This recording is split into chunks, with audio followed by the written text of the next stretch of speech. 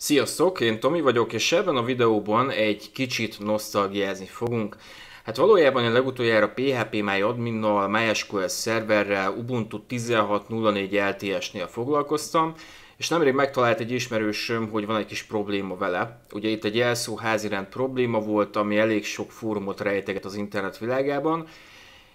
és úgy döntöttem, ugye megoldottuk ezt a dolgot, és úgy döntöttem, hogy csinálok róla egy ilyen kétrészes videót, mivel Ubuntu 20.04 LTS-nél már változott a MySQL szerver, ugye itt egy 8-as MySQL szerverről van szó, ami lejön a tárolóból, amikor telepített parancsorból, illetve ugye a PHP MyAdmin, aki használja, hogyha telepíti, akkor ott is változott egy-két dolog. Nem nagy dolgokra kell gondolni, de azért egy kicsit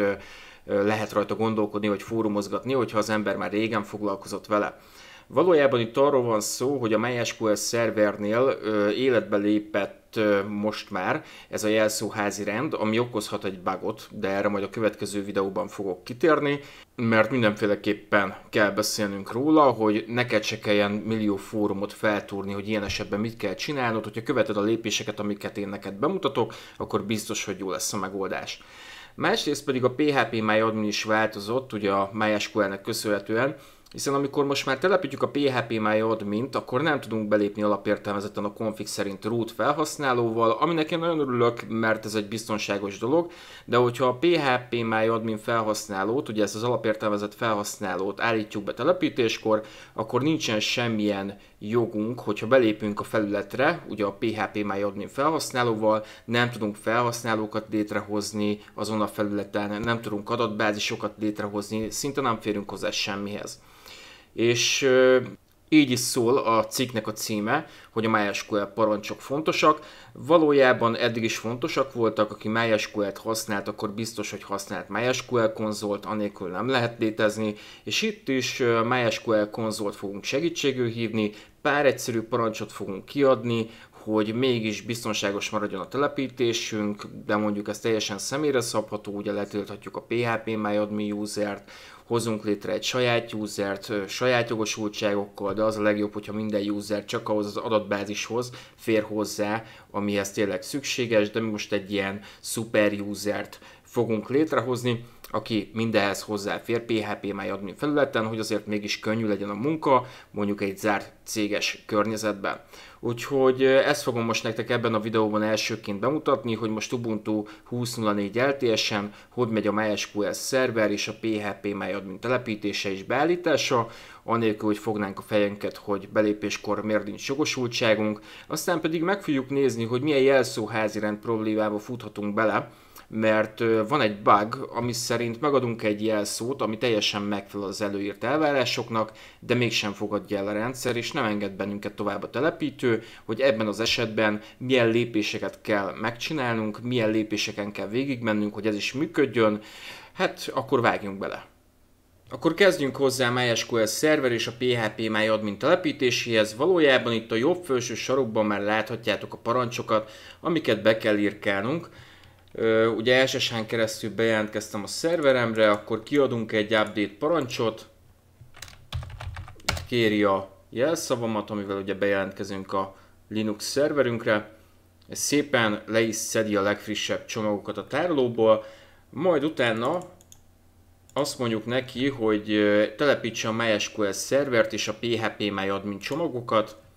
szépen elkezdi letölteni, megnézni, hogy miket kell telepíteni, milyen függőségek, rengeteg csomagot láthattok, és megkérdezi tőlünk, hogy ennyi helyet fog foglalni ez a sok csomag, biztos, hogy akarjuk-e telepíteni, természetesen akarjuk telepíteni, mert használni szeretnénk, Úgyhogy most ez egy ideig el fog tartani ez a folyamat, amíg szépen letölti a tárolóból a legfrissebb csomagokat, és telepíti a rendszer. Utána ö, felkínálja nekünk, hogy Apache vagy milyen webkiszolgálót szeretnénk használni. Természetesen én most Apache-ot fogok használni, akkor rányomok az OK-ra, és az Apache-ot fogja letölteni, mint webszerver. És most szépen csomagolja ki, és telepíti a fájlokat. Most egy ideig várni fogunk. Közben egy kicsit szüneteltettem a videót, mert valójában semmi nem történt, csak annyi, hogy letöltötte a csomagokat és telepítette a rendszer. Valójában ö, semmit, még egy entert sem kell nyomnunk. Aztán meg fog jelenni egy phpmy admin üzenet, hogy konfiguráljuk a phpmy admint, és itt természetesen a, az igen opcióra nyomjatok rá. Amikor az igen opció megjelenik, akkor kér tőlünk egy jelszót, hogy adjunk meg egy jelszót. Itt megadhatunk egy jelszót, legyen benne kisbetű, nagybetű, szám is legyen benne, és legyen benne egy speciális karakter, mondjuk egy aláhúzás vonal. Mert akkor megfelelünk a jelszóházi rendnek, és nem lesz ilyen jelszó figyelmeztetés. És akkor szépen tovább megy a rendszer. Közben mutatom, mert én nyitottam egy böngésző ablakot, mivel az én Ubuntu szerverem most az 1.16-os IP-n dolgozik, így hogyha megnyitjuk az 1.16-os IP-t, ugye egy telepítés közben, mikor már fölment az Apache webszerver, akkor az 1.16-os IP látható, hogy van nekünk egy Apache alapértelmezett oldalunk, ugye egyéb konfigurációkat ír le, és véget ért a telepítés. Na most, hogyha véget ért a telepítés, akkor fogjuk magunkat, megnyitjuk ugye ezt az 1.16-os IP-t, vagy a számodra megfelelő IP címet, amit a te szervered ö, kapott, vagy éppen adtál neki, mert ugye ezt fixen is beállíthatod, és beírjuk mögé, hogy phpMyAdmin, és hogyha beírtuk, akkor betölt nekünk a phpMyAdmin felület. Ugye itt alapértelmezetten a phpMyAdmin felhasználóval tudunk belépni, és a phpMyAdmin felhasználónak a jelszava az az, amit előbb telepítés során abban a rózsaszín ablakban megadtunk. Ugye amiben mondtam, hogy legyen kisbetű, nagybetű, szám, meg mondjuk egy aláhúzásvonal, és akkor megfelelsz a jelszó házirendnek, és onnantól kezdve be tudunk ide lépni, és bent vagyunk a phpMyAdmin felületen, de valójában, hogyha látjátok, akkor látunk egy sémát, látunk egy phpMyAdmin adatbázist, de hogyha mondjuk rávegyünk arra, hogy adatbázisok, akkor ott van, hogy adatbázis létrehozáshoz nincsen jogunk. Ugye régen az úgy volt, még a 1604 LTS korszakában, hogyha itt bejelentkeztem, akkor root userrel jelentkeztem be, és a rootnak a jelszavát adtam meg, és mindenhez volt jogom, ami biztonsági szempontból egyáltalán nem jó dolog, de most változtattak rajta, a PHP felhasználóval tudunk belépni ugye a megadott jelszóval telepítés során, de nem tudunk adatbázis létrehozni, nem látjuk a felhasználókat, szóval nincsen feltétlen mindenhez jogunk. Hogy jogunk legyen, ahhoz nekünk ugye a MySQL konzolt kell előhívnunk, és ezért ez a cikknek a címe, hogy a MySQL parancsok hasznosak, mert valójában, hogyha látjátok a jobb felső sarokban, néhány parancsot fogunk kiadni, és már is hozzá fogunk férni a teljes MySQL rendszerhez, ugye az adatbázisokhoz, meg a felhasználókhoz, PHP MyAdmin felületen. Úgyhogy át kell váltanunk root userre, szépen letöröljük ezt itt, és akkor átváltunk egy root userre, ugye át, át is váltott nekünk,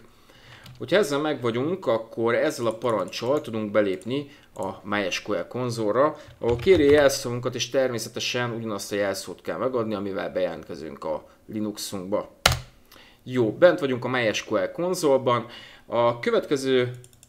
parancs az annyit fog csinálni, hogy create user, ugye egy létrehozunk egy usert, a usernek a neve ugye ez a, látjátok, hogy ott van, hogy user kukasz localhost, a user helyére, amit írtok, az lesz a useretek felhasználó neve, és van egy user aláhúzás password egy, ez lesz a user egy jelszava, szóval így tudod, hogyha ezt a két dolgot, ugye, hogyha ide beírod, akkor ez lesz a jelszavad, ez pedig a felhasználó neved. Na most én ezt így egy az egybe be fogom másolni, ami azt jelenti, hogy írja nekem, hogy ez rendben le is futott, mennyi idő alatt futott le, és valójában létrehoztam egy user nevű usert, vagy felhasználót, akinek a jelszava az a user aláhúzás password 1. Úgyhogy, hogyha ezt behelyettesíted bármi mással, akkor az lesz neked a usered, és azzal a jelszóval. A következő parancsban pedig a jogokat fogjuk megadni ennek a usernek, idézőjelben mondom super user, mert ez mindenkinek tetszőleges kell, hogy legyen, meg egyedit próbálj meg megadni. És hogyha megadtuk ezt a parancsot, akkor annyit tettünk, hogy minden jogot megadtunk a user kukac localhostnak, magyarul, hogyha ezzel a userrel lépünk be, látni fogja az összes felhasználót, látni fogja az összes adatbázis, létrehozhat felhasználót, létrehozhat adatbázisokat, bármit meg fog tenni PHP MyAdmin felületen, vagy akár MySQL konzolon keresztül. Utána frissítjük a jogokat, és kilépünk a MySQL konzolból. Természetesen, hogyha a user helyett beírod, hogy PHP MyAdmin, ugye itt a jogosultság parancsra gondolok, Magyarul a PHP MyAdmin felhasználók is megadhatsz minden jogot. Azt azért nem célszerű, mert ez az alapértelmezett user, amivel telepíted a rendszert, és természetesen, hogyha valaki támad valahonnan, akkor ez lesz az elsődleges, de természetesen nem itt kezdődik a védelem, hogy egy PHP MyAdmin telepítésénél az alapértelmezett felhasználónak adsz jogokat, sokkal mélyebb, sokkal előrébb már ugye a tűzfalazásnál,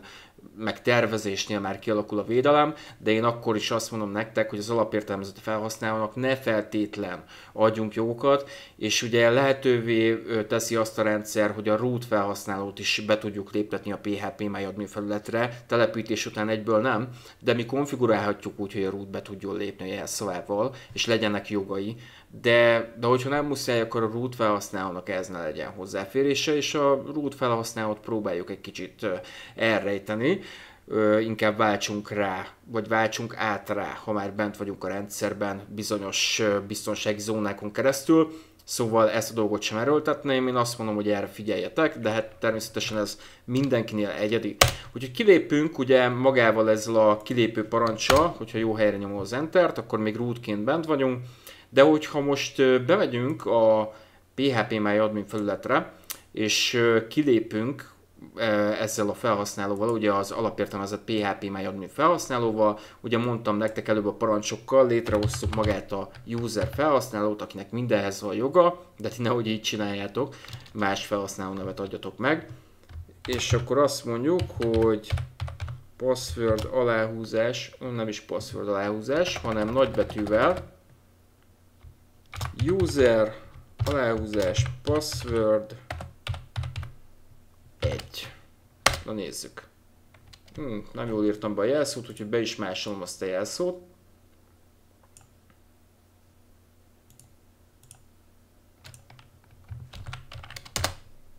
Ez a biztos, mert így nem gépeljük el.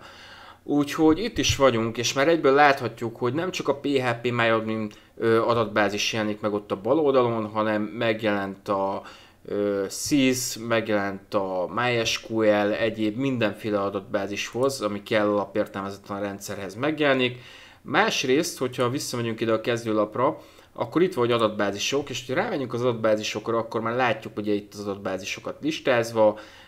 látjuk, hogy van jogosultságok ellenőrzése, és aktív lett az adatbázis létrehozása funkció, Valójában mi megjelent a felhasználói fiókok, ahol felhasználókat tudunk hozzáadni, tudunk tiltani, tudunk adatbázishoz rendelni, magyarul megkaptunk minden jogosultságot, mint hogyha engedélyeztük volna a rootnak a belépését, akár vagy mint hogyha 1604 LTS-nél telepítettük volna a PHP MyAdmin, és a root userrel belépünk telepítés után, és minden ott van egyből a szemünk előtt. Úgyhogy ennyi lett volna Ubuntu 20.04 LTS-en, a MySQL szerver és a PHP MyAdmin telepítése, finom hangolása,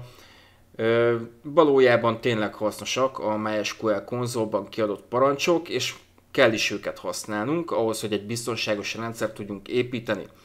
Én Tomi voltam, ha tetszett a videó, akkor ne felejtsetek el feliratkozni a csatornánkra, és ne felejtsetek el egy lájkot nyomni. Hamarosan pedig következünk a következő videóval, ahol megmutatom nektek, hogy mi van akkor, hogyha jelszóházi rend problémába ütköztök telepítéskor. Sziasztok!